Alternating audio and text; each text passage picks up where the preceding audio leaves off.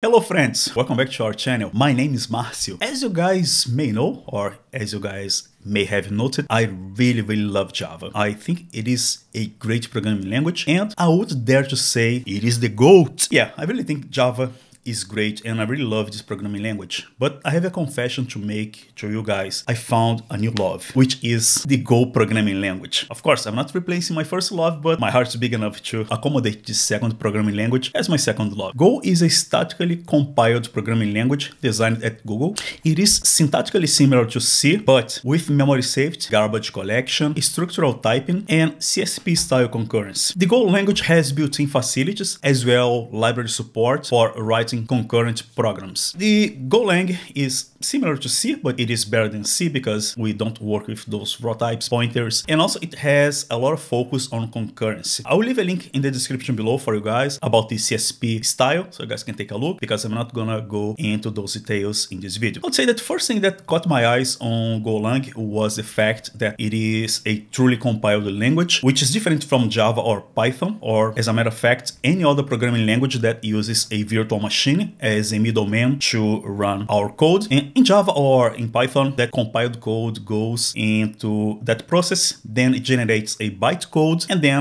that bytecode can be executed by the virtual machine, either the Java virtual machine or the Python virtual machine. So this is basically the process that they both have. On Golang, that's different because the compiler simply outputs an executable file, which is um, .exe for Windows or an executable linking format or ELF format for Linux or Unix. Enough talking, now it's the time for our demo. I'm gonna show you guys how to write code in Golang and of course we have to do something really deep, complete and complex so I can show you guys all of its power. What we're gonna do is simply creating a hello world program. I know it's not that complex, it's not that deep or complete, but we'll be able to have a taste of the structure of the code, how the programming language works, the syntax, the compilation process, and how we run that code. Later on, we'll be extending that example to include fancier things. Let's get started. First thing uh, I'm gonna do here is I'm gonna create a new folder. So just to accommodate my Golang project. So I'll give Golang first project. And then I'm gonna go into that folder. Second step is I'm gonna create a new subfolder. That's gonna be my hello world project. And then I'm gonna go to that folder. So we have nothing here. Now we're going to initialize our new module, which is gonna be our new program uh, with the command go mod init. And then we're gonna simply give it a namespace. It's gonna be example slash hello. Then we have created this new module here. Now we have inside this folder is a go mod. That's the project or the package management file file for Go inside this project. I just opened that folder here with Visual Studio, as you guys can see, and I'm gonna start writing code. Now, I'm gonna create a new file here called hello.go. That's the extension for Golang files. I'm gonna give you it a package name package name is going to be main because that's the generic package. I have nothing special here. Next step is to import a library. I'm going to import a formatting library. It's a very common and useful library. Import FMT. Now I'm going to write a code to print a hello world or hello Marcio. It's going to be a function called main because that's going to be the main entry point. FMT print and hello words. That's all we have to do here. As you guys can see, the syntax here is similar to the C program, program language without those crazy pointers stuff. Now let's run our code, go back to our command line and go run hello.go. And that's it. We have our hello world working. As you guys can see, that was pretty simple to write this code. Now let's extend our example here. Let's do something a little bit more challenging. Instead of just writing everything inside the same function here, we're going to create a new module. And a module is simply a way to organize our code and we can add things that are related together inside a module. You can see a module as a folder as well. And let's imagine we have an application that has functions to work with uh, financial analysis, we can have a module just to add those financial analysis functions. And any other piece of code can use this shared or this shareable module. And it's quite easy. Going back here to the command line, let me um, go back here and I'm going to create a new folder here. It's going to be greetings and let me go inside that folder.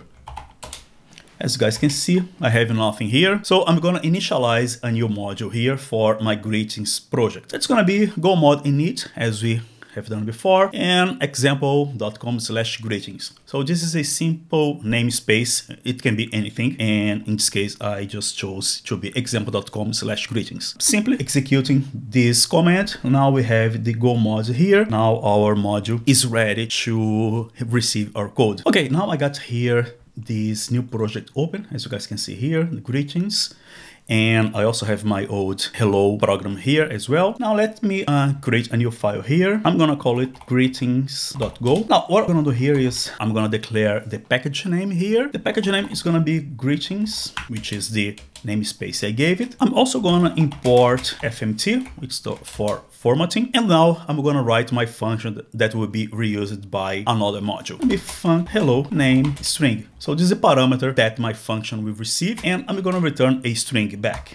Now I'm gonna write the actual code to the function body. And then it's gonna be simply, I'm gonna say, hi, someone, welcome. And we're going to replace this percent %v with whatever name we pass from the parameters here. So it's quite simple, quite easy. And just to take a look at this structure here, that's a function declaration. That's a function name, hello. Name is a parameter, that type is string, and it's gonna return a string. So that's a very powerful way to express a definition in Golang. As I said said before, it is a statically compiled programming language and strongly typed as well. So which means we always have to work with predefined types in order to write our code. It's not dynamic such as JavaScript or Python. It's more like C or Java. Now we're gonna do something pretty cool. We have our code here, which is in the greetings folder, as you guys can see. It's not executable because we don't have a function main to execute this code here. It needs to be called from somewhere else. And that's exactly what we're gonna do right now. Now, let's take a look at our old code here. And instead of simply, simply saying hello world, let's use that greetings module to do the work for us. So let's do a few changes in here. Uh, we'll still be importing FMT, but we will also be importing the greetings. At this point in time, it does not recognize where greetings is located because it is inside another folder and not in a public repository, for example. So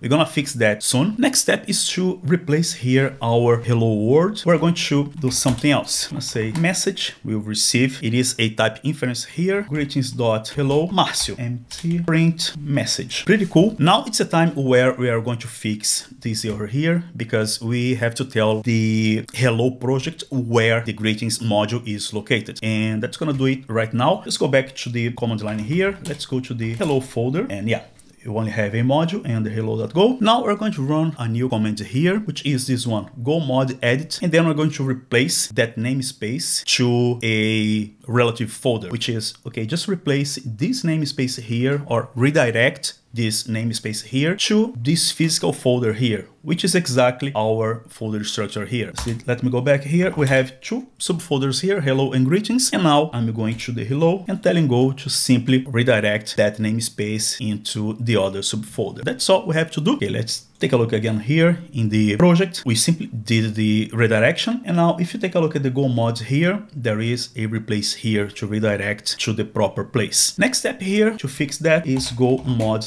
tidy. Then uh, it says, okay, I found that module that you told me to redirect and this is the version now seems to be all good. It's a time to run our code again clean up the screen and go run hello. And now hi welcome Marcio it's pretty cool pretty simple and yeah that's all for this video. What we have done is we have created a simple code first a hello world. Then we have also created a new module to be a reusable library where we have a function here just to return a string saying hi someone, whoever is in the parameter name. And then we use our hello world code to run or to execute the function hello in here. I hope you guys have enjoyed my video. Please do not forget to like my video, click on the subscribe button as well, and also click on the notification bell. This way you guys won't miss any of my videos. I'll see you guys in the next video.